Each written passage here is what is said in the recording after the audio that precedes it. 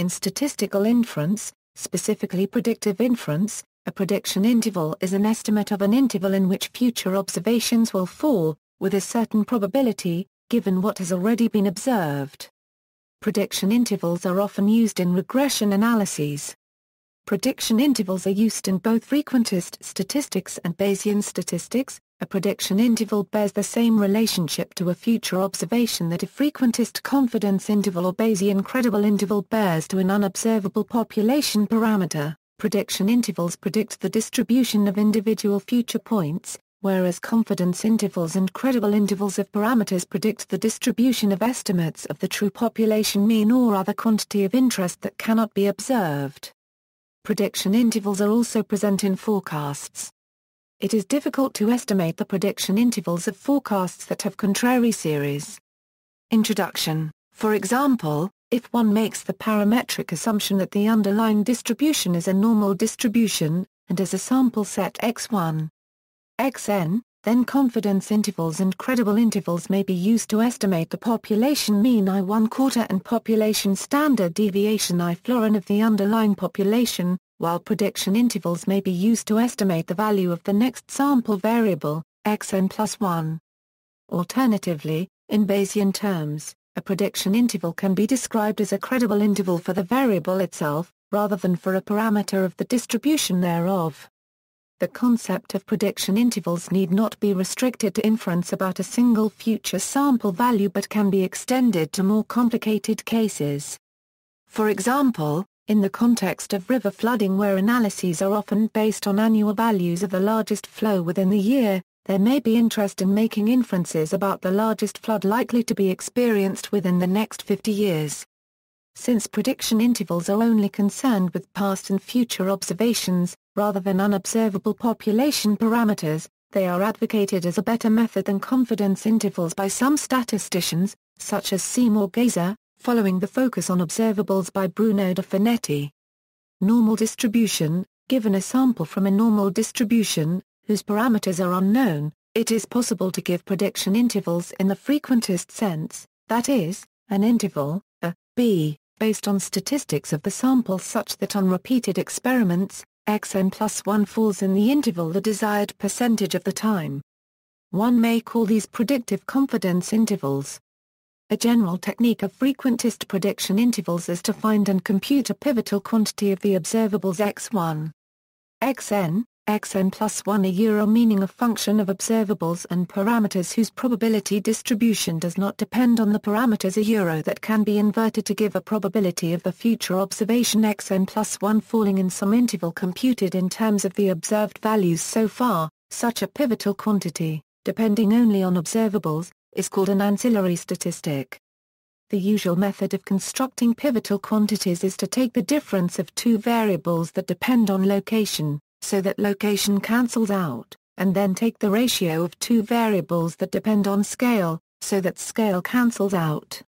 The most familiar pivotal quantity is the student's t-statistic, which can be derived by this method and is used in the sequel. Equals known mean, known variance equals, a prediction interval, L, U, for a future observation x in a normal distribution n, a micron, I2 florins, with known mean and variance may easily be calculated from where the standard score of x is standard normal distributed. Hence, or with z the quantile in the standard normal distribution for which, or equivalently, the prediction interval is conventionally written as.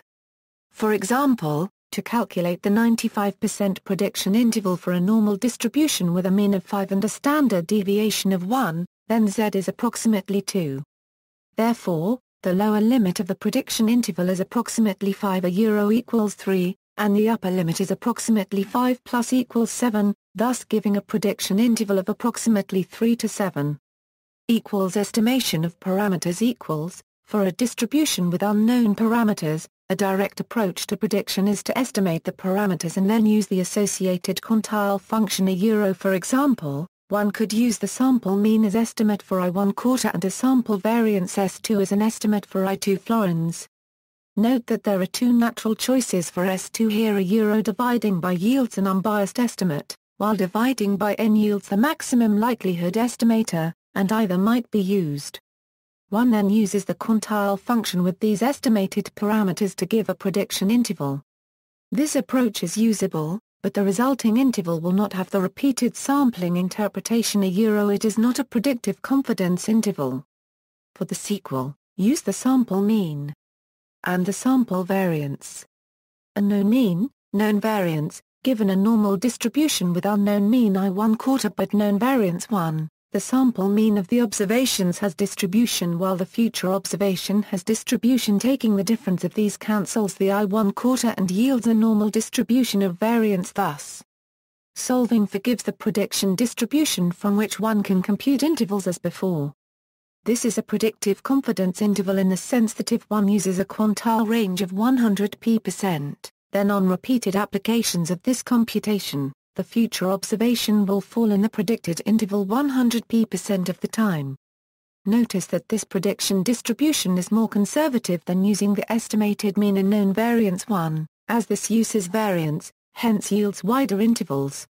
This is necessary for the desired confidence interval property to hold. Known mean, and known variance, conversely, Given a normal distribution with known mean zero but unknown variance, the sample variance of the observations has, up to scale, a distribution.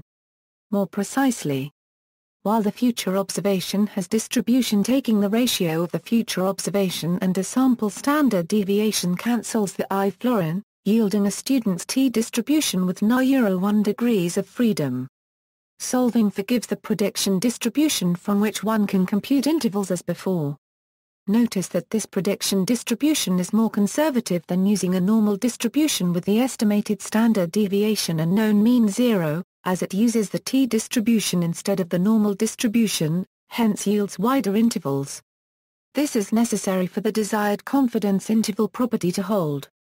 A known mean, and known variance, combining the above for a normal distribution with both I1 quarter and I2 florins unknown yields the following ancillary statistic. This simple combination is possible because the sample mean and sample variance of the normal distribution are independent statistics.